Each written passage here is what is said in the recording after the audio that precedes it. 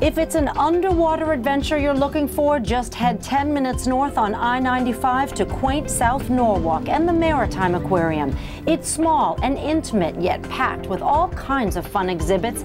Oh, and lots of live animals. Go nose to nose with frogs from all over the world in colors you've never imagined. Look at that.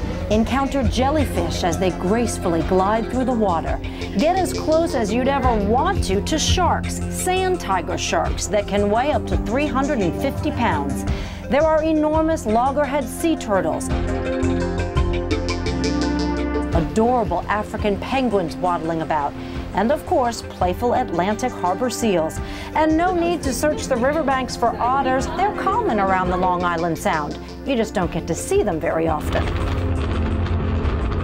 Want to see a big show? I mean really big? See it in IMAX 2D. That's the tense part. Are we going the right speed? The right speed is right here on the aquarium's research vessel with cruises for discovering what's on shore and below the surface. Great day for a boat ride. One of the most popular exhibits inside is the intertidal zone touch tank. This is a spider crab. What does he look like? Volunteers here make sure you get up close and personal and really feel these creatures. A big part of what we're all about is wow moments. And when a child can actually handle an animal from Long Island Sound, actually touch it and feel it and see and, and, and connect, that's a wow moment. The mission is to educate the public about the Long Island watershed, to encourage people to preserve and protect it.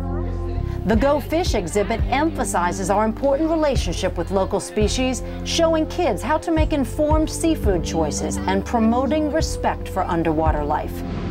I got one. Trust me, at the Maritime Aquarium, you just never know what you'll catch.